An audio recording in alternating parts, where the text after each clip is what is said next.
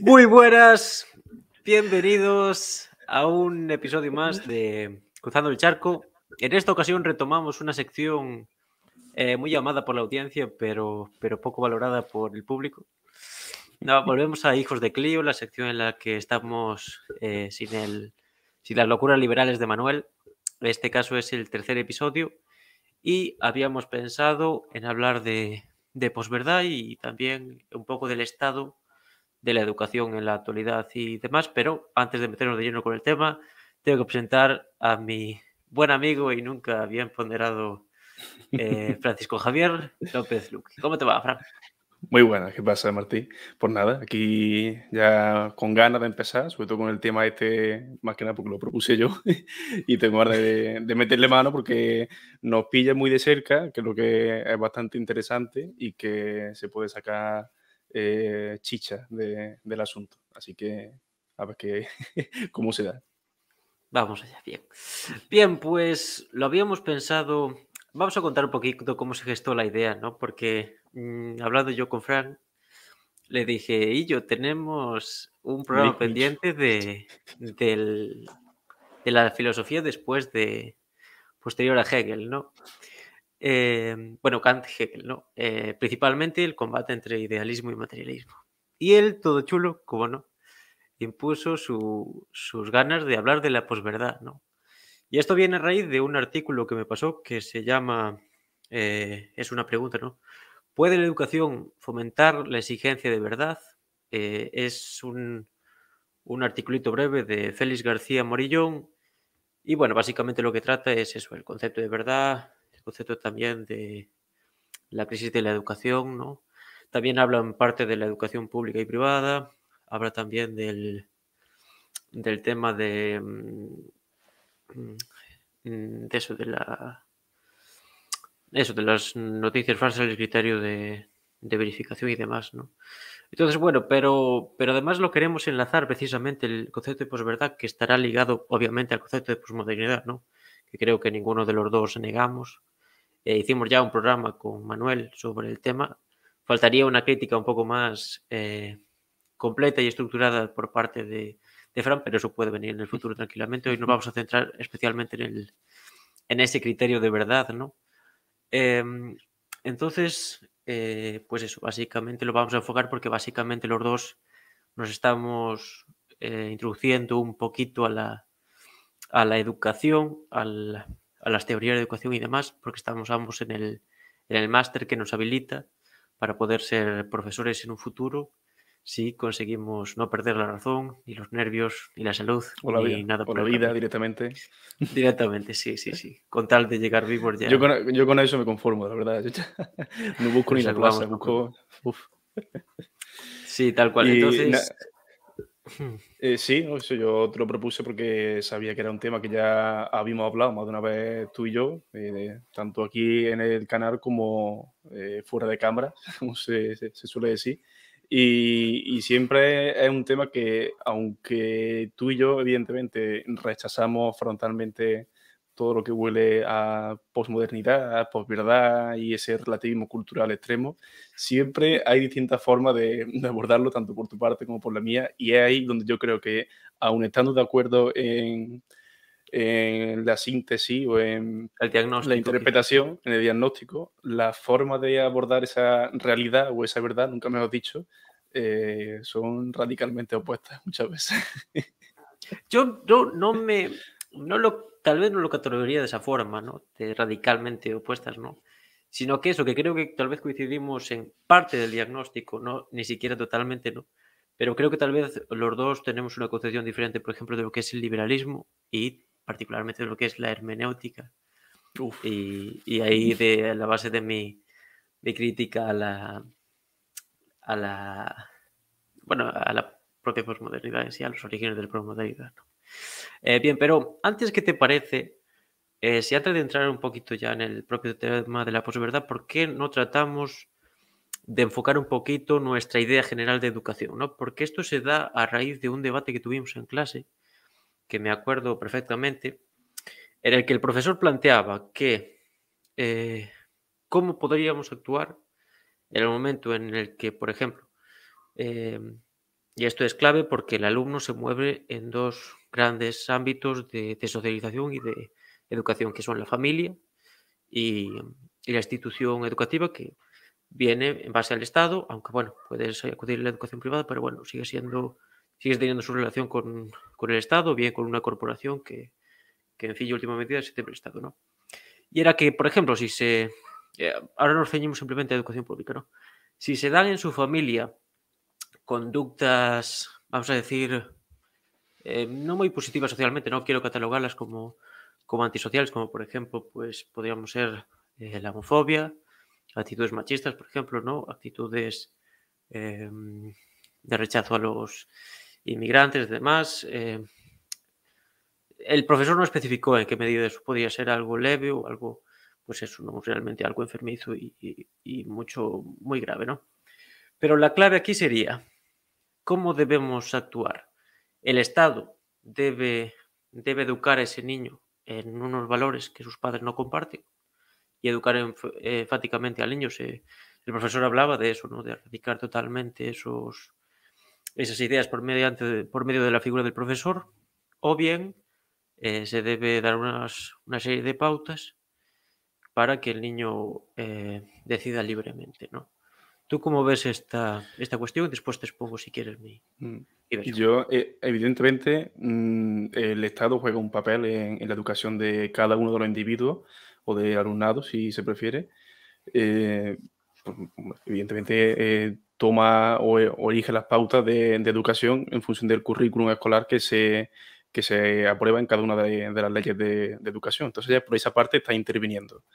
Una, un aspecto que hay que tener en cuenta es que, eh, a pesar de que siempre se aboga la educación como eh, el remedio para todos los males o para todas las enfermedades de la sociedad, no hay que vanagloriarla o ponerla siempre en un pedestal como si fuésemos aquí franceses de 18, por favor, porque no... A pesar de esa barba y, ese, y esa apariencia, no somos franceses de 18. No, no, no, hoy el, nombre no, el nombre lo deja claro que hoy no, hoy no soy francés.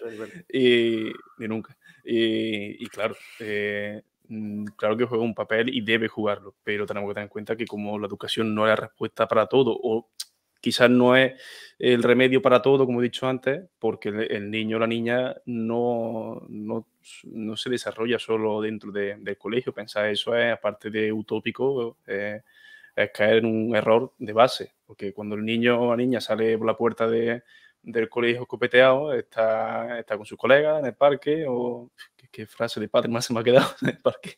Eh, o está, yo qué sé, de picos pardos por ahí. Y eso ya son otros espacios de sociabilización que evidentemente no, no, no el Estado no, no, llega hasta ahí, o la figura del profesor, si se prefiere. ¿vale? Eh, o por ejemplo, que está dentro de casa. Eh, el, el, alumno que está comiendo con su padre y sale un tema espinoso o un tema político o lo que sea, el padre o la madre tiene un, una idea, una opinión muy clara, muy, muy específica y, eso es lo que el niño ve desde, su infancia como lo normal, ¿sabes? Lo normalizado, lo aceptado, lo correcto, si se, si se apura. Entonces, mm, ¿debe intervenir? Pues claro que sí, porque si no, dime tú qué, qué garantía o qué, qué, clase de estado de bienestar estamos si no, si, no se preocupa o no participa de esa educación para formar a unos, a unos ciudadanos, en teoría, con un pensamiento crítico libre e interdependiente, como se suele vender desde la aula del, del de profesorado, ¿sabes? Toda esa farfolla y retórica posmoderna, por otro lado. Pero claro, no, mm, yo es, así como lo veo. Mm, no podemos tampoco martirizar o martirizarnos el día de mañana dentro de un aula si vemos que eh, la educación no es capaz de abarcar todo eso, que es lo que se plantea, lo que se propone y si lo prefiere es el horizonte que se marca, vale, sí, eso está muy bien, muy bonito, pero hay que tener en cuenta las condiciones materiales en las que se desarrolla cada, cada persona, que no es, su vida no es solo el, eh, la educación, es mucho más, es una parte que te ayuda a relacionarte con el resto de, de tu vida, pero eh, las influencias son bidireccionales, ¿sabes? No no, no ejerce solo una, una, influencia de la educación sobre el resto, sino que al contrario también, positiva y negativa. Claro, es que precisamente eh, ese es lo que comentas, ¿no? Yo tampoco quiero ponerme aquí en plan melodramático del Estado, nos, nos roba a nuestros niños y como salía la, la señora de los Simpson y los niños, ¿quién va a pensar? Es que nadie piensa en los niños, ay. Claro, claro, yo, yo, y claro, yo se lo planteé al profesor de la medida en que, a ver, el adoctrinamiento siempre es negativo, ¿por qué? Porque se cae en el, en el argumento de autoridad. El argumento de autoridad es lo peor que existe. ¿Por qué? Porque impide el, el pensamiento crítico y el pensamiento autónomo, ¿no? Entonces, claro, nosotros cuando fijamos unos valores morales que son positivos y si tus, eh, los, estos padres hipotéticos ¿no? no comparten esos valores, el niño se ve en una disyuntiva de elegir eh, esos valores supuestamente máximos morales o tal, o rechazarlos porque al fin y al cabo son tus padres, podrán tener, tener ideas equívocas y tal, pero se parten el lomo cada día por darte un, un futuro mejor. Entonces yo creo que que realmente si se quiere solucionar es lo que tú has dicho, la educación tiene que ser integral y, yo lo planteé que debía ser a nivel social, esa educación también debía llegar a los padres y, no atacar al padre por ser, ¿sabes?, eh, de, tener determinadas ideas, entre comillas, reaccionarias, que para mí lo reaccionario es algo más profundo que, simplemente, pues eso, tener ciertas actitudes o, utilizar cierto lenguaje, ¿no? Entonces, eh, claro, yo planteé esa, esa cuestión, no puedes atacar al padre, tienes que educarlo junto al niño, ¿no? Y tienes que hacerle ver al niño que tiene que querer y respetar a su padre y que puede tener X ideas porque es hijo de su, de su época, ¿no? Y no tiene por qué rechazarlo, sino que, bueno, simplemente respetarlo y si no lo comparte, pues tampoco rechazarlo, ¿no? Yo creo que es, es, algo más profundo y que y también lo que comentas curiosamente, ¿no? Nosotros en el máster, ya hablando del propio máster, vimos una diferencia muy grande con lo que era la primera parte, que era, como bien dice, más teórica, de los propios profesores más ligados a la universidad, más ligados a la investigación educativa, que eso, mm. que es lo que dices tú, te planteaban cuestiones muy, muy ambiciosas, muy supuestamente rompedoras, muy innovadoras, pero después la segunda parte fue con los propios profesores de los de ciertos institutos y ellos, y ellos mm. te daban consejos prácticos. Claro. Y que tienes que cumplir esto esto, esto, y tienes determinadas horas, y tienes determinadas herramientas básicas para el día a día de, dentro de un aula. Que al final es lo que, te va, lo que te va a salvar eh, el curso y el trato con, los chavales. Y, lo que comenta de, los padres mm, es, bastante acertado porque siempre se olvida o caemos en el olvido de que la escuela es solamente una relación padre y alumno. Y para nada, es padre, alumno y, o sea, profesor y alumno. Eh, pero en este caso la escuela debe incluir a, esos padres dentro de, la educación. No estamos diciendo aquí que haya que educar a los padres, pero sí hay que integrarlos eh, dentro del sistema educativo para que se sepa lo que su niño o su niña está dando en clase, cómo lo está dando, qué tipo de problemas tiene o dificultades a la hora de, aprender, cómo se pueden abordar, que eso está todo el tema de la tutoría y, toda esta pesca. Mm, pero claro, eh, esos padres tienen una vida, tienen un trabajo. Estoy contando con aquellos padres que que son proclives a la participación o a la implicación dentro de la educación de, sus niños, porque luego hay algunos que, en fin, eh, pasan olímpicamente el tema y curiosamente son los que, los que más, eh, los que después más eh, problemas dan, así de claro, ¿sabes? Porque no, no, se implican, no ven el desarrollo, o sea, hacia dónde va el desarrollo de, de, su hijo y luego cuando se encuentra con resultados que no son positivos, dice, hostia, eh, ¿qué pasa aquí? ¿Que esto por qué así? Si mi niño es estupendo y maravilloso y, y lo pesca, ¿por qué no, no aprueba o, no se siente cómodo, no está cómodo en clase porque siempre vuelve amargado de, eh, del colegio? ¿Qué coño le están haciendo allí? ¿Sabes? Entonces, mm, yo creo que habría que integrar, integrarlo, pero de, de forma real, ¿sabes? Que no solo sea la tutoría obligatoria eh, al, trimestre o las reuniones estas grupales, sino que, en todo momento sepa eh, de antemano incluso lo que se va a hacer con, con su niño. Claro, bien la sorpresa. Yo, yo sobre todo recalcaría el, no caer en el argumento de autoridad y en el, y en el supremacismo moral. No, eh, hay que mm. dar herramientas críticas. Y esto ya lo hablé incluso, creo que con Manuel, cuando fue lo de Donald Trump. No me acuerdo ya. Mm. La, para mí la herramienta contra las fake news y demás es precisamente esa conciencia crítica. ¿no? Es que hay proyectos, eso, estatalistas de centralizar la información. Eso no se puede hacer. Tú lo que tienes que desarrollar es una mínima actitud crítica. El 90% de las fake news no te las vas a creer porque vas a tener un mínimo de conciencia. Y eso a, nivel general, ¿no?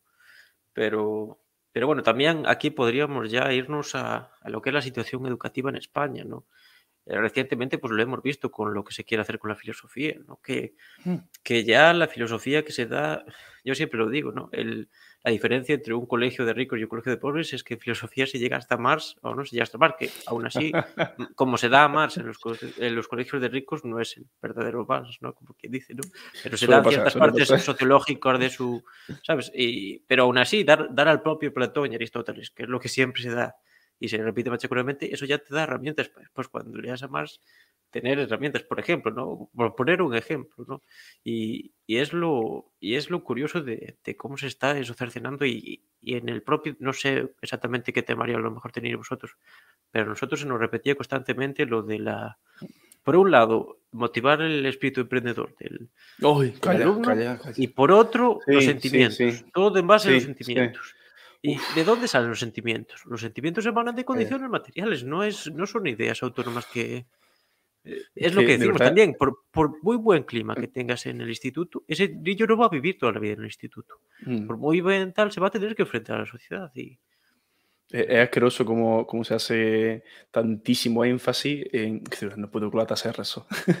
tantísimo énfasis en, en, el, en, el, apartado o en la competencia, porque está catalogado como una puñetera competencia, eh, el espíritu emprendedor. Que cuando tú lees eh, la descripción de la competencia, pone que el, el, alumnado debe ser capaz de enfatizar o de ponerse en la posición de, de las labores que, que lleva a cabo un empresario. O sea, me ¿qué me estás contando? ¿Sabes? Luego, claro, sé tu propio jefe, como le dicen a los de Globo, sé tu propio jefe. después... sí, claro. Pero es que el coraje que me da es a lo que volvemos siempre, que te lo pintan todo esto como, como si fuese eh, liderazgo personal, eh, autosuperación, una palabra que me da mucho algo, que es resiliencia. Eh, todo ese tipo de vocabulario, Mr. Wonderful, que te lo ves en, en la agenda del Tiger, de todos estos sitios súper fabulosos con purpurina, te lo ponen en, dentro de un aula con, con tinta academicista y dices como se te está yendo un poco la cabeza, que le estás contando, o sea, le estás diciendo a un chaval de, de 13, 14 eh, años que tenga mentalidad de tiburón y que saque una empresa para adelante él solo, porque si él quiere, pues. Sí, capital, que es como, Yo siempre lo digo también, estoy claro. un poco la gente, pero la gente que hace ADE, uh, bueno, uy, uy, administración de empresa, piensan que al final, a cabo de la carrera, te van a regalar una empresa. Y es en plan, tío, eres imbécil estudiar cosas empresariales no te va a hacer competir los empresarios, te lo hace el capital. Y, o peor, eh, ya, no solo el pensar que va a tener una empresa cuando salga, sino para mí me parece más grave el pensar que vas a ser capaz de pase lo que pase, porque hay gente que, bueno, que tiene éxito y demás y afortunadamente lo va bien, pero que pase lo que pase, vas a llevarlo a cabo porque tú has estudiado y te has dedicado a eso, a lo tuyo y a lo que sabes hacer, vale, estupendo. Pero que por mucho que tú quieras, Mm, siempre está el factor clave y determinante, como es el puñetero dinero, el capital, el que va a determinar realmente si va a tener éxito, éxito o no. No esa idea revolucionaria que tú tengas. Eh, aquí ya volvemos al debate siempre clásico entre idealismo y materialismo, de dónde parte la realidad, si es de la materia o de la idea. Y la gente que, que piensa que es lo segundo, pues está abocado a, al fracaso por la parte más corta. Entonces, no sé. A mí es que he visto. Sí, no, eso, que yo he visto que en el. No, no, eso que en el máster y eso, no sé cómo, cómo lo darán por allí por Galicia, que es lo que te quería preguntar ahora, eh, pero que lo revisten todo siempre de, de, de un lenguaje súper revolucionario en cuanto a la metodología didáctica y demás. Y es verdad que algunas cosas pues sí son interesantes, ya me jodería de, después de tanto tiempo que algo bueno tendría que caer, pero que me da la sensación que es lo mismo de siempre, pero con, pero con un discurso y un vocabulario muy, muy distinto, evidentemente. Y que luego no llega a atajar o a abordar realmente la problemática concreta, porque en el temario en sí siempre te, te ponen el problema, pero nunca te ponen ejemplos prácticos, o casi nunca te ponen ejemplos prácticos de cómo atajarlo, ¿sabes? Pero lo ideal sería que le tenga en cuenta eh, tal y tal y cual. Pero vale, pero dime cómo. O sea, ¿cómo, ¿cómo se lleva a cabo eso? ¿Cómo se ejecuta en el día a día? Entonces, por eso eh, era como la pescadilla que se muerde la cola, que siempre, independientemente de las materias que estás tratando, de las problemáticas, siempre era el mismo modo operandi. Este es el problema, esto sería lo maravilloso, estupendo que tú tendrías que hacer, pero ¿cómo, ¿cuál es el siguiente paso? Esto, esto lo dejamos un poquito porque también es que lo, esto de la mentalidad de tiburón da mucho para hablar. Porque yo me acuerdo que yo en cuarto de la ESO tenía un profesor, creo que era mi tutor, que cada tutoría nos ponía el jodido vídeo de Steve Jobs hablando cómo se hizo tal y tal. Y yo me calentaba porque le decía, a ver, personaje, primero, es que no sé, no, tenía lógica porque son chavales que, porque claro, se lo ponía a los chavales que no querían hacer bachiller. Yo en principio no iba a hacerlo, después lo hice. Y, y, en principio era, a ver, ese chaval va a salir y va a currar en una gasolinera, va a currar donde sea. No le puedes vender esa mentalidad porque lo estás engañando. Y, lo estás frustrando. el chaval que no quiere estudiar, bien, pero por lo menos tú deberías decirle que si quiere cambiar esa sociedad se puede cambiar, no es, no es que tenga que él hacerlo a modo individual de cargarse toda la espalda y tirar para adelante. Tendrá que asociarse, tendrá que seguir estudiando, tendrá que seguir formándose para cambiar esa sociedad, pero no le, va, no le vengas con el discurso de eso de autónomo de los cojones porque no va a ser autónomo, va a, ser va a estar jodido por todo lado. Y a mí es que me calentaba muchísimo. Había veces que me tenía que ir de la puta clase porque el, pavo este, pero es que era pumba, pumba, pumba, tío. Y, ¿Te llegaron a echar de clase por eso? No, me, me iba yo, porque es que no lo, ah, ah, Bueno, a ver, me echaron muchas veces, eso es verdad, eso es verdad. Me uy, uy, Martí, uy, Pero... Uy, no conocí esta faceta tuya, ¿eh? De adolescente problemático. no, yo... Hostia.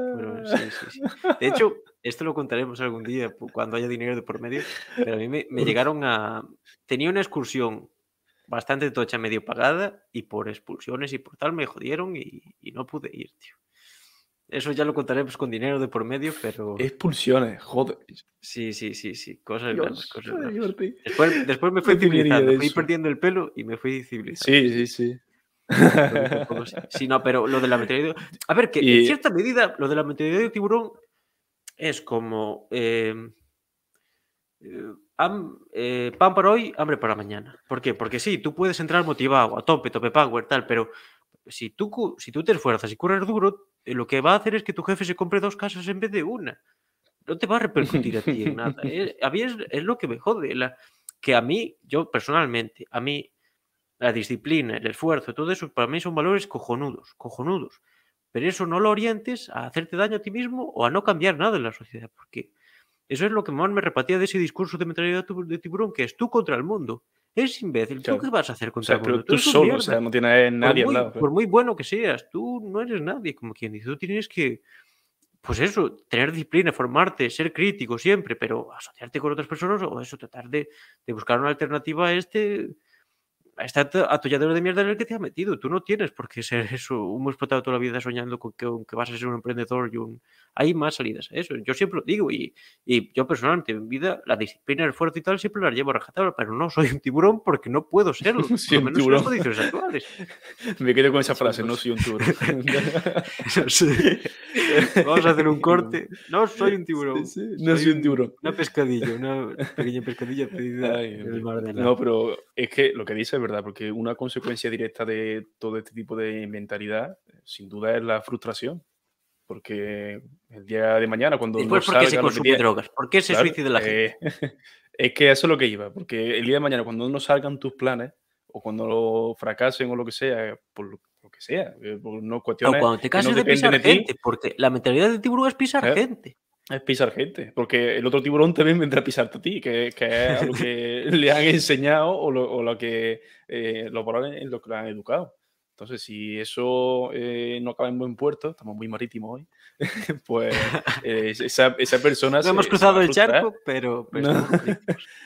Mm, se va a frustrar y va a pensar que es un fracaso de persona, que la única responsabilidad y culpable es, única y exclusivamente suya y va a entrar bueno, pues, en depresión y por la parte más corta, que, que a esto es lo que me refería cuando ves que cada vez, al menos aquí en España, eh, el índice o las personas que, la cantidad de personas que caen en depresión y, diversas dificultades mentales, pues va en aumento. Y no quiero decir que solo se deba a esto, pero lo que sí quiero decir es que esta mentalidad te, te, puede conducir mm, directamente a, a, la depresión, a droga, como decir, y, y no poco el, suicidio también. Ya el último acto, evidentemente, pero... Sí, en momentos duros, cargarte y pegarte contra la pared 25 veces nunca ayuda de nada, ¿no? precisamente. ¿Cuánta, cuánta gente se ha, quitado la vida por tener deuda, por no poder afrontar muchos de los pagos? Es que me parece macabro ese tipo de, de cifras. Que, que, están ahí, ¿sabes? Y no sé, de verdad, pongo enfermo. Sí, sí es un...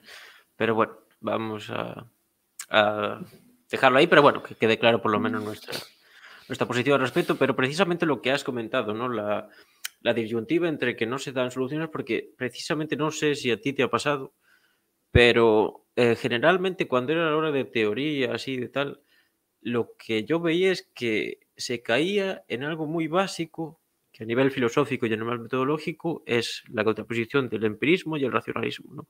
Era constante. En todas, las, en todas las cuestiones que salían, tú veías que había una parte totalmente empirista de que los ellos aprenden haciendo y otra totalmente racionalista de que las ideas salvan a las ideas y ellos idealmente se idealizan así con ideas ideales. Comen ideas, sí, sí. Sí, tío. Y, y, es lo que yo no veía, que esto en nivel historia también pasa, ¿por qué? Porque, y esto ya lo hablamos precisamente en la anterior introducción a la filosofía, quien resuelve en parte ese problema entre racionalismo y empirismo es Kant. Kant hace la crítica a la razón pura.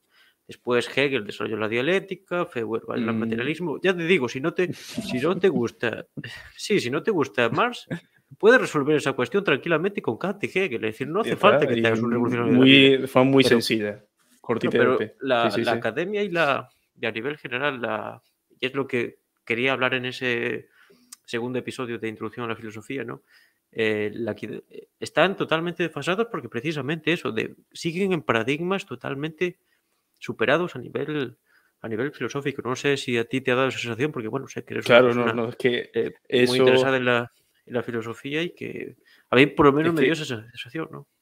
Justo lo que señala es el motivo de mi frustración en el máster, en la primera parte del máster, el módulo genérico, porque siempre, siempre caen en, en, mismas interpretaciones, ¿sabes? Eh, y a fin de cuentas lo que, lo que acabas de comentar, que son paradigmas, son eh, formas de concebir la realidad que están bastante súper allá y todo esto te lo cuentan con, con un discurso súper revolucionario de si es que esto antes no se hacía así, pero eh, si lleva a cabo este tipo de ideas o este tipo de prácticas con, tu clase, con tu alumnado, eh, como dan a entender que no va a tener ningún tipo de problema y que todo es maravilloso y, para nada, ¿sabes? Porque eh, la persona que tiene sentada delante tuya, o 30 personas, personitas que están delante tuya, cada uno tiene su, historia personal, su, su vida familiar y, y, y, demás. Y tú no puedes eh, vestirlo a todos con un mismo manto, eh, no ideológico, pero ideológico en el sentido de, de ese idealismo que, que, que, te vende todo una clase, un aula de forma mm, homogénea. Y para nada, ¿sabes? No sé, eh, es mi motivo de frustración al máster por eso mismo, porque mmm, yo puedo estar de acuerdo ¿no? con las metodologías que se pueden llevar a cabo dentro de un aula o las que se, mm, se recomiendan dentro de, de todo el programa del máster. Pero no me la vendas como si fuese algo totalmente novedoso, porque es exactamente lo mismo que hacían conmigo hace 10 años, ¿sabes? Y para nada, eh, me, me resulta ni novedoso ni, ni tampoco interesante, lo siento, que, que así. Claro, sí, precisamente eso. Y, y, volvemos un poco a lo que a lo que habíamos comentado. Yo precisamente que en, tienes, no sé si vosotros tenéis algo así como una semana de toma de contacto con las prácticas, con el sitio donde vas a hacer las prácticas. Sí, vamos, de hecho el otro día, el otro día que no sé qué día fue, el viernes, eh, tuve la reunión de, de las prácticas y en enero entro ya en el centro a hacer la, la práctica. De eh, enero, parte de febrero y luego en abril o mayo la segunda parte en la que ya en teoría interactúa de forma más directa en el aula o puede dar alguna clase, eso ya dependerá del de tutor o tutora que, que, te toque y, la, y la lo permisivo que, que, sea contigo. Claro, pues precisamente en, en, fui eso, no sé, salió a lo mejor al principio de mes. Y, y así hablando, tal, y nos dieron como una vuelta a mí y otras compañeras que fuimos allí. Y se dio la ocasión de que uno de los profesores le sacó a un chico, no sé qué, algo de Vox y lo empezó a empezó como a meterse con él y a burlarse de él porque pues, el chico debía ser simpatizante de Vox o yo qué sé. Y empezó allí a darle la turra. Y digo yo, a ver, a ver, por lo menos no vota el PSOE, ¿sabes? Pobre chaval, y estará muy perdido en la vida porque a mí no es que me guste vos y no es que me parezca racional, pero el pobre chaval sabe Dios las condiciones que tiene en su casa y tú vas delante de sus compañeros y le empiezas a dar la turra. Ese chaval te va a coger manía a ti y va a hacer que todos sus colegas voten a Vox y todo su barrio vota a Vox por cansino, tío. Dale, dale argumentos, incluso a nivel histórico. Lo que defiende Vox a nivel histórico con fuentes se deshace en dos días, es lo que decimos siempre de Pío ¿no? que es muy peso. Dale fuentes en ese sentido, sé crítico, sé tolerante con él, todo lo que quieres, pero no le des la chapa con que, porque precisamente el, profesor este se lo, se lo, decía desde la democracia. Pues supuestamente la democracia puede votar todo, todo lo que quieres y las opciones que quieran. Y le estaba dando A mí me pareció un episodio un poco triste porque, a ver, pobre chaval, por lo menos, em lo que digo, por lo menos no vota al PSOE, tío. Esa no, no, la vi venir. Pero claro, ya no solo hizo, sino que está burlándote de una persona. No sé si lo hizo dentro del aula o por los pasillos, lo que sea. Pero. No, estaban en clase los chicos. Ah, en clase, o sea, más delito, coño. Está... en la clase, sí. Eh, está evidenciando a, un chaval por cuestiones ideológicas, las que sean, eh, y está buscando la burla o la mofa del resto de sus compañeros. O sea, si ya de por sí ese, ese chaval pues, tendrá unos sentimientos mm, fuertes para llegar hasta esos extremos, si, si, lo trata de esa manera, lo único que está haciendo es avivar esa llama, ¿sabes? Que ya de por sí está encendida. Y, va a crear ese, no sé, un ambiente de, de, crispación, porque la persona o el alumno que, que no comulgue con esa idea y, y está viendo que desde la autoridad en este caso que el profesor se está burlando y, lo ves con buenos ojos, porque es lo que hace el profesor, si el profesor lo hace es porque está permitido y por ende está bien, mm, va a fomentar que no solo tú, sino el resto del aula discrimine a esa persona. Porque tú, a ver, todos desde pequeños hemos tenido nuestros vaivenes, ¿vale? Y tú no sabes si esa persona el día de mañana pues mm, acaba siendo el nuevo Lenin, ¿sabes? Yo qué sé. Pero ojalá, no, ojalá deje a Vox de lado y se No, hombre, pero tú, tú me entiendes lo que te quiero decir, ¿no? Que tú, sí, sí, mm, sí. ese chaval está atravesando una circunstancia, una coyuntura personal concreta eh, en este momento. Tú no puedes estigmatizarlo y ponerle una etiqueta desde el primer día que entra por la puerta de, de tu clase, y más si no tú el profesor. Me parece... Mm, lamentable y preocupante. Sí, no, sé. a mí no me gustó nada, pero. Eh. En fin, es lo que. Es lo que toca a veces. Y también lo que comentamos antes de racionalismo e empirismo, incluso un compañero, porque nosotros en el módulo común teníamos a gente de. alguna gente de filosofía, de empresariales. Y bueno, no eran solamente de historia, ¿no? de historia de arte, del arte, incluso y geografía. Y un chico lo comentó, bueno, era por clases telemáticas y lo comentaba en el chat durante, eso es, tan viejo como la discusión de empirismo y racionalismo. Y no sé si lo comentó varias veces o una vez en ocasión, pero es eso, es que no querer avanzar en ese sentido. Y también, aprovechando lo de Vox, también te, yo creo que, obviamente, la, educación está eh, relacionada con la situación política del país y con la situación histórica, ¿no? Ya que en España tenemos la democracia que tenemos, y precisamente la ley de educación, al igual que, por ejemplo, el boxeo, ¿no? porque eso lo veremos después, ¿no? Pero, pero son de esos pactos tácitos de la de la transición en las que se tenía que, simular que, hay dos posturas contrarias, ¿no? Como por ejemplo en el coronavirus, cuando Casado quería levantar el estado de alarma cuando había no sé cuántos casos, ¿no?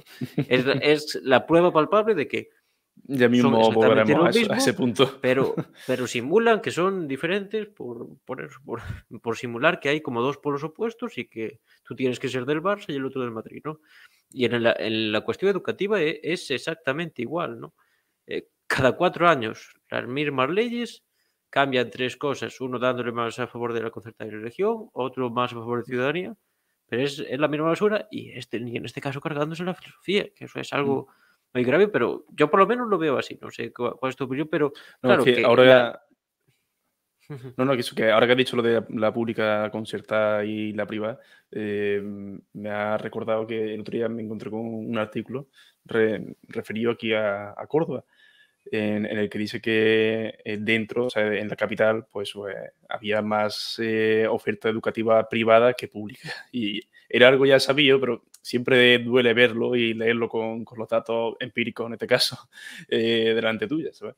Y, y lo comparas luego con la estadística del resto del país, y no sé si la privada y concertada eh, a nivel nacional era un 7%, pero luego baja a, baja Andalucía y es un 30%, o en Córdoba en total un 40% frente a la pública. Es como, joder, te, te choca bastante que eh, independientemente de lo que tú acabas de comentar, las leyes que salgan, sea de, de, una índole u otra, que a fin de cuentas mm, pues, tienen los mismos intereses, eh, este problema, porque es un problema, lo de la educación privada, no, no termina nunca de, desaparecer. Luego siempre saltan los mismos con el famoso derecho a decidir, ¿no? Yo quiero decidir dónde eh, educar a mi hijo. Pegarle esos pijos para que deje de tocarlos. que me cago más. Y, luego lo compara con la estadística real del ministerio en la que te das cuenta que no es solo que mm, haya acabado esta lacra, sino que ha persistido y se sigue desarrollando. O sea, va, va a más. Y me, me, preocupa bastante, porque, joder, que, que, aquí en Córdoba, en Córdoba nos manejemos con, con esas cifras y la universidad también, claro. Muy, el propio que se fue hace poco, que nadie sabía ni que estaba, y se fue el ministro ese loco de los cojones, eh, porque precisamente eso quería liberalizarlo a nivel de Estados Unidos. Que eso en parte ya está, porque aquí, por ejemplo, no sé cómo es en el sur, pero aquí el Banco Santander tiene, eh, tiene controlado totalmente todo. Eh, aquí la Fundación eh, Barrer de la Maza, todo eso está en, conchabeo con la Diputación, o sea, todo está en conchabeo con la universidad. La universidad es una corporación de los cuatro amiguitos que se retroalimentan entre ellos y que no hacen avanzar nada la ciencia me dan ganas de, o sea, de, cerrar el directo y, comentarte esto en privado, me preocupa de verdad. Porque ya no solo los, bancos, Santander en este caso, porque tuvo las fundaciones, que, que acabas de comentar, que también ya llevan tiempo y, están presentes. Pero ya, cuando hablamos de, de, este tipo de temas como el ejército, es que me cago muerto. Y, y, más temas que, que, de verdad luego te lo comento porque mm, hay ejemplos muy concretos con nombre y apellido que no quiero yo. Sí, no vamos a eh, no vamos a quemar a nadie, pero sí, la situación en general. Y es lo que aquí en Orense es prácticamente igual, solo hay eh, prácticamente lo que es el centro de la ciudad hay colegios eh, privados de órdenes religiosas, ¿no? Maristas, salesianos, carmelitas, todo eso. Solo hay dos relativamente céntricos que son públicos, que son los que mejores resultados tienen a nivel bachiller y todo eso, en la selectividad y demás. Y el resto todo es una corona de, de centros eh, públicos a los que va, bueno, la gente que no, que no puede ir. Que bueno, yo tengo. Es un fenómeno incluso también lo de la educación privada, porque muchos muchos padres de clase obrera hacen un esfuerzo muy grande por llevar a sus hijos pensando que precisamente eso le va a, le va a abrir una puerta para el ascenso social. Ya te digo, no, no es como para desdeñar a esa gente, ¿no? Ellos hacen lo que, lo que mejor creen para sus hijos, ¿no? Pero, pero eso es un fenómeno curioso, al fin y al cabo. A fin de cuentas, es lo que se resume siempre a lo mismo, que el padre o la madre en teoría siempre busca lo mejor para, para, su hijo, para su hija, y si estamos hablando en materia de educación, pues es casi lo, lo, primordial, lo primero. Igual que cuando va a un centro de salud, siempre va buscando lo mejor para, que también entramos en el tema público-privado de salud, pero, pero, claro, eh, cuando, cuando, una familia de origen humilde, por decirlo de alguna manera, se empeña y hace todo lo posible para que eh, su hijo esté en, en un centro privado, yo, entiendo y comprendo, no comparto, pero lo entiendo, que lo hacen con, con esos fines. No, no, no, no, consigo otro, porque si tú crees que tu hijo mm, por ir a un centro privado el día de mañana va a establecer contactos, va a no sé qué, va, va a tener más, más salida laboral, lo que sea, no sé, yo sé muy bien qué decirte, macho. O si realmente es eso lo que quieres, pues yo me lo, me lo, haría, me lo haría mirar, la verdad. Que voy a contar otra anécdota, visto y de anécdotas que cuando, cuando estuve en Santiago tenía un profesor que daba como, era de arte romano, daba 45 minutos de clase tal, y los últimos 5 minutos nos contaba una anécdota o algo de su vida, ¿no? Y un día nos comentó que su hija había ido al colegio y dijo él, va a un colegio público de monjas, por cosas de su madre, yo no tuve nada que ver. Y, y no sé cómo comentaba, que hablando con los profesores le decía, eh, pues su hija se le da muy, muy bien las, las oraciones. Todas las oraciones se les da muy bien, pero las matemáticas se les atranca un poco. Y el tío decía, pues yo creo que la cuestión es tan simple como dedicarle menos horas a rezar y tal vez un poquito más a matemáticas. Uy, Y, Con la iglesia votado. Parecía un, un, un cura el, el, señor ese muy tranquilo, muy sosegado. Era un, eh, te da bastante ternura el pobre hombre, ¿no? Que le llevaban a la hija a las, a las monjas sin él casi ni querer. Pero bueno. Eh, Ay, a ver, es eh, lógica aplastante, macho. Eso no tiene. Ay, verdad. En fin, pero mm. bueno, en sí, eso. ¿Y qué te parece si ahora esta última parte del, del programa le dedicamos ya más a lo que es la posverdad? Si nos quieres dar tu definición de, de posverdad y bueno, tratar de contextualizarla un poco, qué relación tiene con el posmodernismo, cómo ves tú la situación. Danos cátedra, Fran, para eso te hemos traído, que ya, que ya decía que no venías. No, cojones. No, hombre, eh, muy, muy simple, muy sencillo. La, la posverdad yo la, o sea, la, consigo de la siguiente manera. Eh, la capacidad que tiene eh, el razonamiento o, o, la coyuntura que atraviesa una persona para hacer creer cualquier tipo de verdad, de realidad, eh, aun siendo falsa o no demostrable, pero eh, esa verdad te hace a ti, o sea, es capaz de cambiar tu, tu, interpretación para que tú te la creas o para que tú la asumas y, y, y, la tengas o la contemples como una realidad única, verídica, demostrable e invariable. Entonces, independientemente de, de cómo sea la, eh, la condición material que te, que te rodee, esa posverdad va, va a hacer que tú te creas eh, lo indecible siempre y cuando se amolde a tus esquemas mentales, a tu, a tus principios o tus valores que, que tienes interiorizados. Y esto está relacionado con lo que me hablado antes, con el tema de, de la fake news.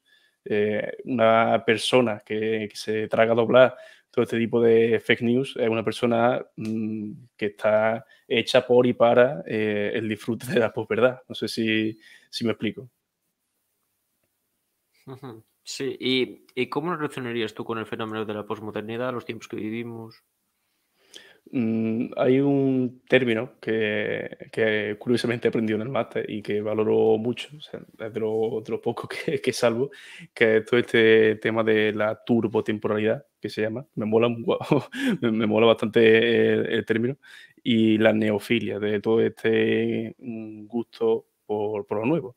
Entonces, todos eh, los tiempos los que vivimos, lo que la rapidez, lo inmediato y todo lo eh, novedoso mm, gusta más y muchas veces se, se, sobrepone sobre todo lo demás, que, todo lo nuevo es mejor que lo anterior y, y, por lo tanto lo quiero ya aquí y ahora, que eso también está relacionado con, con la mentalidad neoliberal que, que impera en nuestros días.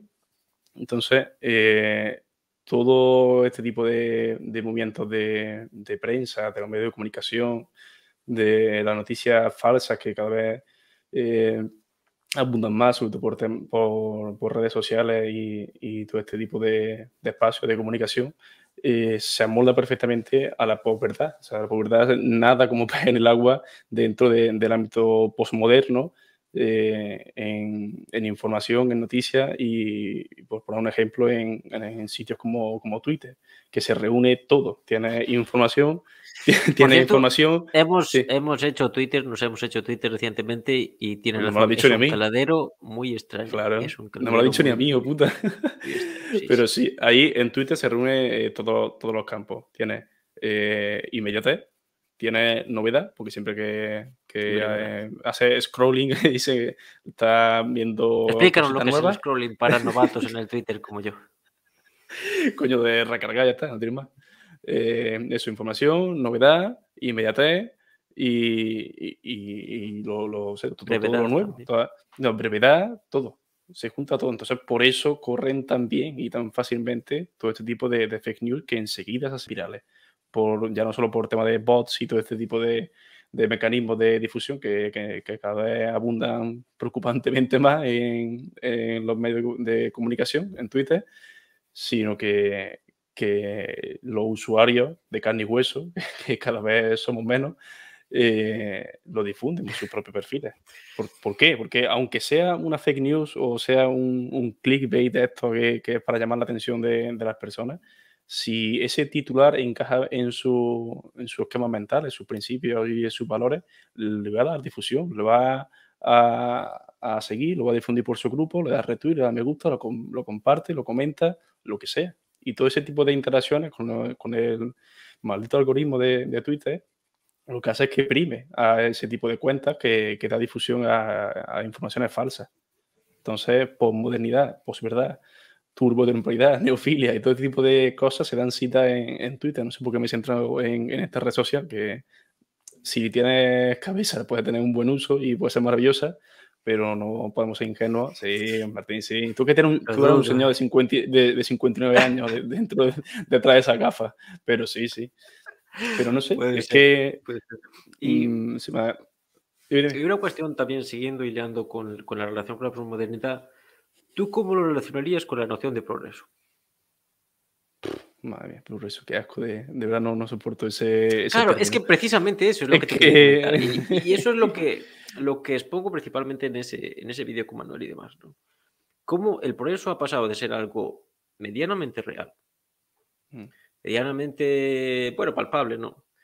A ser una simulación, a ser, pues eso, lo que es Twitter, que tú puedes ser súper... Un, un significante vacío, en la realidad, hueco. Eh, claro, ¿tú cómo podrías relacionarlo con la noción de...? Porque precisamente para mí la posmodernidad parte precisamente de la crítica e ilustración de, de Adorno y Horkheimer, que eso que tiene sus antecedentes, obviamente, ¿no? pero como que el cenit es ahí, la propia escuela de Frankfurt no, porque ellos precisamente hacen una crítica muy fuerte a la noción de progreso, ¿no? Eh, retoma un en parte la hermenéutica de Kant, ¿no? Pero, pero es una crítica muy fuerte a esa, a esa cuestión porque precisamente, y esto ya es a lo mejor algo más subjetivo, ¿no? Se estaba demostrando que el progreso tiene que socializarse totalmente, ¿no? Y que precisamente Occidente no se estaba socializando en su totalidad. Entonces, quieren simular y llevarlo, por ejemplo, también al mito del decrecimiento y demás. Esto ya es algo más complejo, ¿no? Que tal vez tenemos que tratar en otro, en otro momento y en otra ocasión más distendidamente, ¿no? Pero me interesa mucho tu, visión de, esto. El sea, para mí, el progreso, al igual que, que, la economía o el sistema de mercado, se ha, se ha erigido la nueva Biblia. Antes eh, el progreso, como tú bien decías, era algo consensuado por todos, que teníamos claro cuáles eran las líneas de progreso, nunca hemos dicho, a seguir para eh, el desarrollo de, una determinada sociedad. Pero hoy día ese término está tan utilizado, tan masificado y por ende prostituido, que ha dejado de carecer, carece ya de, de un sentido eh, colectivo. Tú a, cualquier persona que le pregunte, a mí, a ti, a cualquiera, te va a dar una, una definición, una interpretación, distinta de lo que para esa persona es el progreso.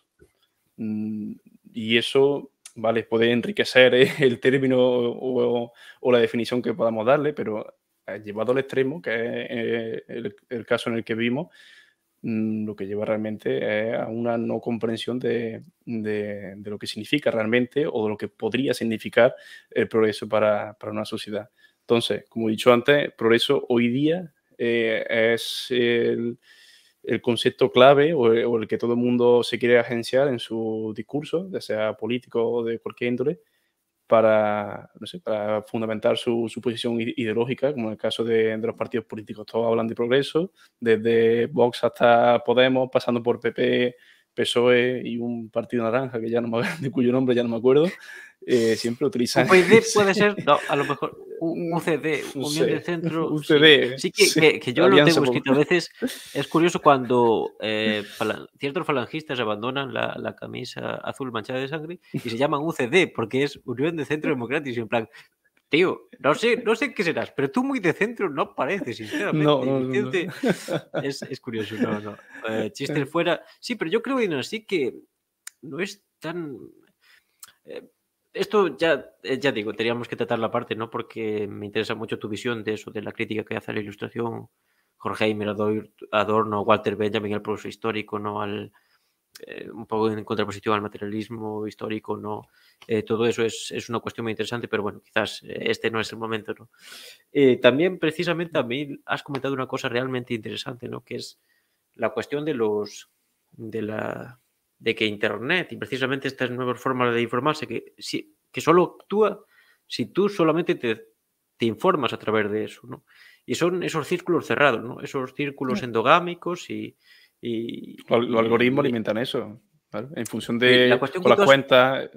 te, te sale comentando con el algoritmo y esto es que algo que precisamente volvemos otra vez a la, a la contraposición de, de empirismo y, y racionalismo, ¿no? Y es algo que, que, sigue siendo una carencia muy fuerte hoy día en, en el sistema educativo. ¿Por qué? Porque no se quiere llegar a Kant y Hegel, porque llegar a Kant y Hegel te se puede después llegar a cierto señor alemán con barba que dice cosas muy feas y que no le gusta a los profesores que cobran 2.000 pavos mientras tu padre está en paro, ¿no?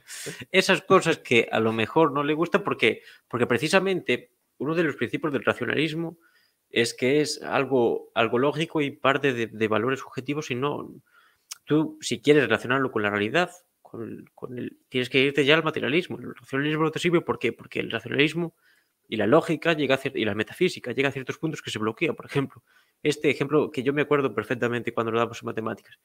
Este ejemplo de que eh, si tú pones una, el, el, bueno, que esto es de la filosofía clásica, que tú pones a una tortuga y a Aquiles, ¿no? Y que ellos nunca se van a juntar. ¿Por qué? Porque la tortuga avanza y nunca va a estar en el mismo punto. Eso en la demostración empírica es mentira. ¿Por qué? Porque si la velocidad de un cuerpo es mayor a la de otro, tarde o temprano lo va a coger y lo va a superar, ¿no? Y precisamente es, eh, es la cuestión del, del, empirismo, que el empirismo sería no trazar nada y simplemente coger a la tortuga y aquí les decir que hicieron muchas cosas, que hicieron muchos pasos y que no tienen ninguna relación, ¿no? Entonces, claro, yo, yo lo que creo que, que precisamente es lo que falta en la educación y por eso el, el, espíritu crítico, pero no la crítica por la crítica, ¿no? Sino, sino contrastarlo y, y, saber ir más allá de la pura lógica formal, ¿no? Porque la lógica formal a nivel, tiene, tiene, tiene ciertos, ciertos puntos en los que se aturulla, como por ejemplo este, el ejemplo de cómo es eh, un milesio que dice que todos los milesios son unos mentirosos, ¿no? Pero claro, él es un milesio, entonces todas esas cuestiones ¿no? que a mí me parecen muy interesantes, ¿no? Y que precisamente en filosofía se dan por encima y que, que no se muestra la trascendencia que tiene aún hoy día el debate entre racionalismo y empirismo, que fue superado en su día, pero claro, seguir esa línea precisamente también lo relaciona con la, con la cuestión de progreso, ¿no? Si realmente ese progreso puede existir, puede ser para todos, pero claro, no, no le interesa. No, no, sé qué opinas tú de todo, de todo esto que me he venido un poco arriba, lo pues así muy rápido. que, yo creo que es una de la tortuga, de los milesios. un poco de todo. No, es, es, básico lo que, lo que comenta. El tema de, del emprimo es muy es preocupante porque se puede llevar al absurdo. Por ejemplo, el caso de la tortuga con Aquiles es, es un clásico, o el de tirar un, una bolsa o un peso desde lo alto de un mástil de un barco y, y, para decir que, que, la Tierra no se mueve porque ha caído en línea recta y si se moviese hubiese caído a otro, a otro lado. O sea, a estos puntos ya estamos llegando que, claro, que, que, claro, que cuestionamos. Lo que tú comentas lo... del terraplanismo no se me había ocurrido, pero es el ejemplo de empirismo claro. tal cual, sí, sí. Y, y, y, Martín, ¿y cuántos terraplanistas están saliendo de forma no irónica hoy día? O los antivacunas, o lo que sea. Es que todo este tipo de. Pero de precisamente eso, porque desde la escuela te enseñan o racionalismo o empirismo, ¿no? Te enseñan que eso claro, ha sido algo, claro, una cuestión super. Claro. Y, o si no lo veo, no lo creo. O sea, yo solo me. me claro. Y eso en historia me guío, o, o me fío. Historia Claro, o la microhistoria. Yo solo me guío o me fío de lo que puedo palpar, de lo que puedo tocar. Si no hay un documento que, veo, que, que dice que Stalin era bueno y quería los niños, yo no quiero los niños. Sí, Malditos positivistas. Sí, pero es que ese es el problema.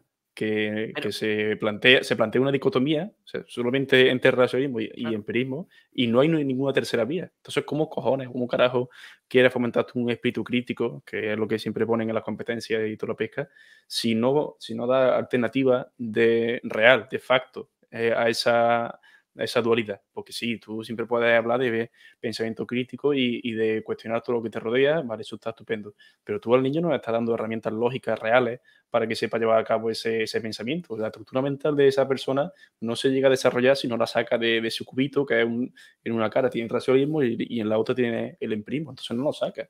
Es como los caballos de la feria que llevan así la, la, la orejera para, para no ver otro lado, pues eso es. Entonces no, no se de desarrollar. Quien, equipo, quien, elige un equipo de fútbol, en lugar de preocuparse ¿Sí? por la realidad, la realidad es una, la verdad es una. Y, y hay que mezclar, como quien dice, grandes rasgos, empirismo y, y racionalismo, eso da el materialismo, y, y eso te, te, ayudará. El materialismo y la dialéctica son herramientas para conocer la realidad y la, y la, y la propia verdad, la realidad, ¿no? Para tratar de conocerla hasta un punto, no es absoluto, pero eso es el método más desarrollado que tenemos. Y precisamente en estas cosas se ve, ¿no? Como, y claro, lo que comentas tú también, lo, cuando, que en política eso también se hace. La, y, y, esto vamos a discutir un día muy fuertemente porque yo precisamente eso es ahora, el ya, estructuralismo. Ya. El estructuralismo, no, ahora no, que estamos, llevamos ya mucho tiempo en ese momento. Pero yo soy crítico del estructuralismo porque el estructuralismo se ha, se ha pasado toda la vida planteando preguntas a decir absurdas, tiene sus cosas a lo mejor positivas que puede ser, bueno, vale, a lo mejor sí, a lo mejor yo he leído poco de eso, que creo que he leído demasiado, ¿no? Pero se ha, planteado todo el tiempo preguntas, preguntas, preguntas, preguntas, después ya con barrabasadas psicoanalíticas y demás, ¿no? Que yo creo que tú tampoco los puedes apoyar, ¿no? Y después, por el otro lado, eso que ha generado, la gente necesita respuestas y, los propios alumnos necesitan respuestas. Si tú en la, en la escuela solo le preguntas, preguntas, dudas y demás, que es la crítica por la crítica, que eso incluso más en, la Sagrada Familia lo, critica, ¿no?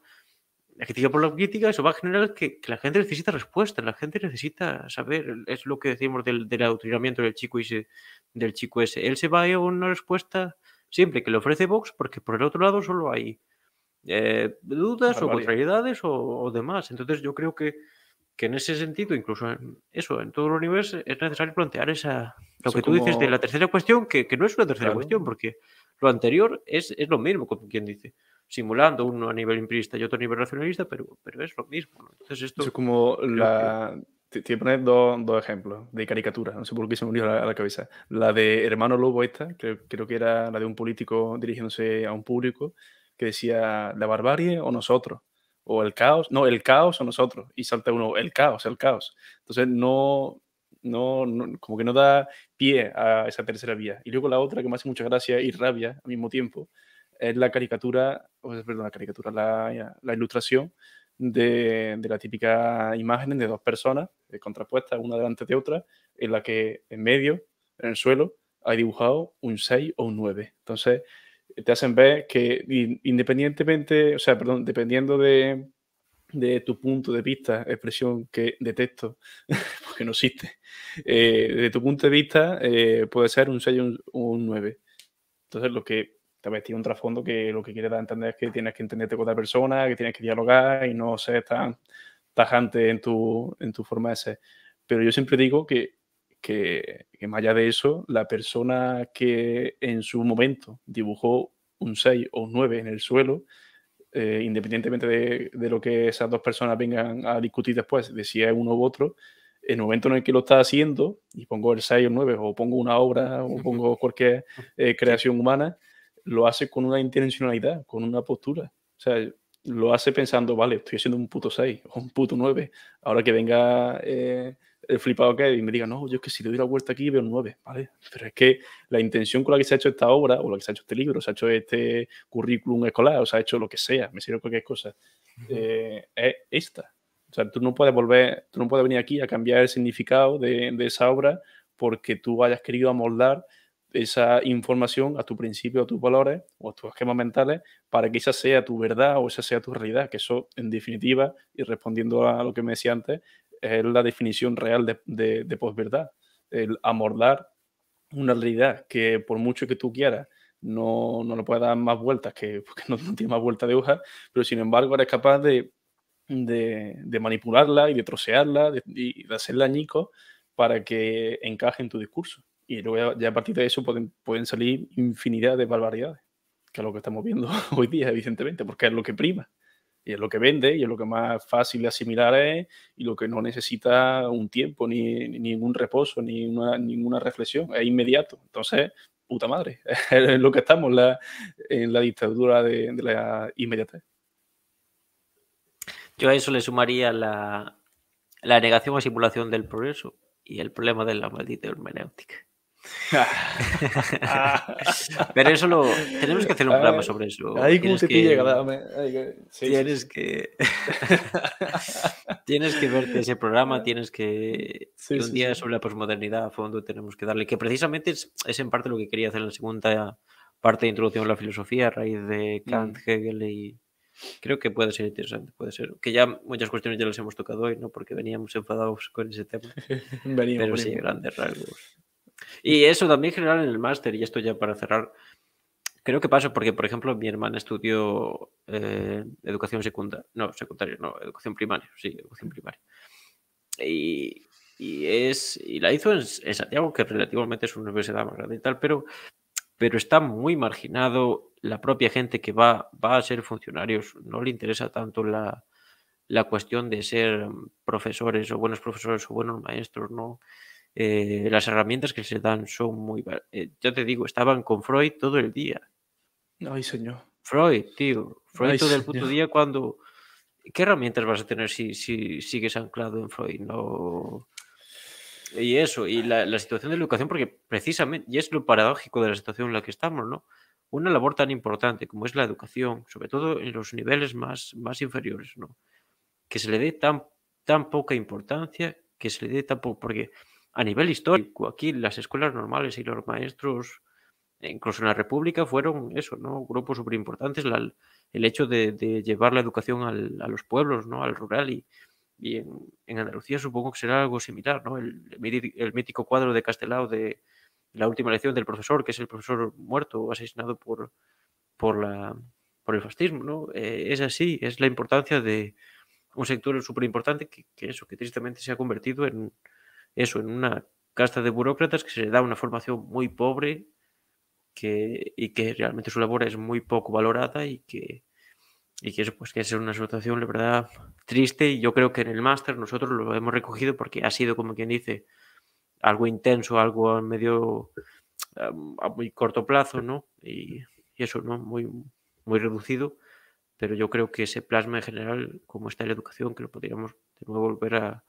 a cómo se quiere eliminar la filosofía de la enseñanza y demás, ¿no? Que, que eso, ¿no? Que es una situación triste y que que están los muy mal. Que, que, es gracioso y llamativo porque son los mismos partidos que en su día, por unanimidad, firmaron el proyecto de, o el compromiso de, de em, no solo que permanezca la filosofía dentro del currículum eh, de secundaria, sino el fomentarla y aumentar la hora o la presencia o el peso eh, académico dentro de, de, la secundaria. Son los mismos que hoy día, desde el gobierno, mmm, se la van a cargar, básicamente. O sea, así de claro. Sí, lo, de, siempre. Que, eso, que tal vez es otro debate y es un debate muy interesante. Nosotros queríamos traer a, a Paula Barreiro, que, que, precisamente es estudiante de filosofía y demás, porque yo precisamente me, me coincido esta semana de ir a, a Santiago, a la, a la, Facultad de Filosofía, y, y entrar y escuchar a tres hippies que estaban en la puerta hablando de que no sé cuántos puros se daban fumado y demás. Es decir, estable la filosofía o es algo inocente. A quien que incluso la propia este hecho hace que la gente que se que se dedicaba a eso tenga aún menos salida laboral, ¿no? Porque si, si no puede estar en los institutos, aún hay menos gente que se puede dedicar a ello y quien se dedica a ello, al fin y al cabo, gente que, bueno, pues que filosofar por filosofar es, es gracioso, mm. es divertido, pero simplemente por mm. eso, pues, pues que curiosamente también se da en este programa, ¿no? tú tienes un gran interés por la filosofía, yo también, pero meterte en una carrera de filosofía yo creo que es como dispararte un tiro en el pie o, o amar la precariedad y ser un hippie que ama la precariedad prácticamente, ¿no? Que, que bueno, el fenómeno hippie y la deriva de la, de la filosofía lo trataremos también cuando hablemos de por modernidad, ¿no? Pero. Yo quiero, quiero hacer un programa sola y exclusivamente de la movida madrileña, hablando de, de hippie mm, con dinero. Me, me, haría ilusión hacer un programa de, de la movida madrileña. Sí, y creo que podremos estar muy, muy, muy de acuerdo. Sí, interesante. Sí, a nivel general, sí, todo eso es bastante triste, pero bueno, esto ha sido, ha sido todo. Ahora pasaremos a, nuestras pendejadas, hablar un poquito de, de boxeo, si, si te boxeo. Parece, si queremos de Fórmula 1 que termina el Mundial, y ha sido uno de los más, de los más importantes no, favor, de, no. de, la historia, pero Fórmula hay 1, mucha tela que cortar ahí. Ya, ya, tenemos poca gente que nos ve no, por eso hablar de Fórmula 1 para que nos estigmaticen. Van a tu igual casa, te, te pegan una paliza y después me llevo yo las yeah. culpas. Igual te sorprendería de la audiencia con Fórmula 1, pero bueno. No, oh, sí, eso no, es lo peor. No está abierto... yo, aquí no, yo aquí prefiero ser pocos y buenos que ser 400.000 y que todos sean amantes de la Fórmula 1, for de Lobato y de Alonso y pues, de todas esas. Escúchame, si, si, eso no lo quieres, no sé qué, me, no sé qué hago aquí, ¿sabes? Me tendría que echar ya. te quedas solo, vamos. Ah, no, tú no, tú no, Fran, porque yo creo que aún te puedes salvar de la. Con el boxeo, ¿Aún? yo creo que te puedes salvar de la Fórmula 1.